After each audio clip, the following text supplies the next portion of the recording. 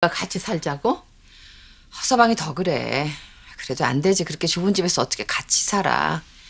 끼고 살던 하나두나 생각하면 속상하지만 그냥 민지하고 콩순이만 데려갈까 해. 강제는? 아유 몰라 그 녀석은. 아유.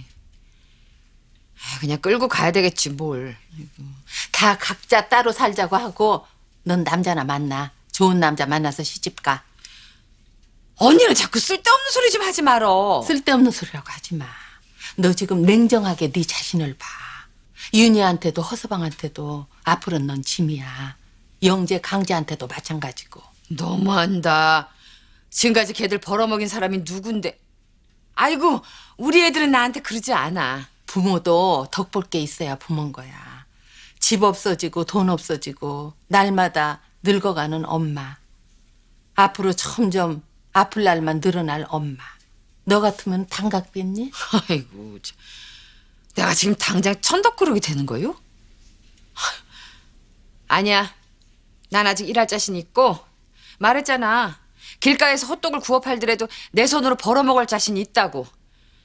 나 걔들 신세 안 질 거야. 유병 장수 시대야 지금 시대가 무병 장수가 아니라 넌 언제까지 그렇게 팔팔할 것 같니?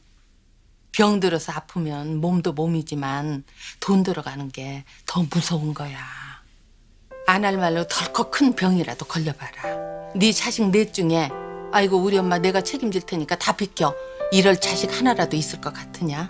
윤희는 윤희대로 장남이니까 영재한테 미루고 영재는 맞이라고 윤희한테 미루고 밑에 것들은 오빠 언니가 있는데 내가 왜 이러고 안 봐도 그림이다. 아유, 진짜 언니 참 이상하다. 아니, 언니 신나요? 내 신세가 이렇게 된 거? 어, 그것 봐. 너도 벌써 달라지지 않니? 저 그게 뭐더라? 어 그래 상실감.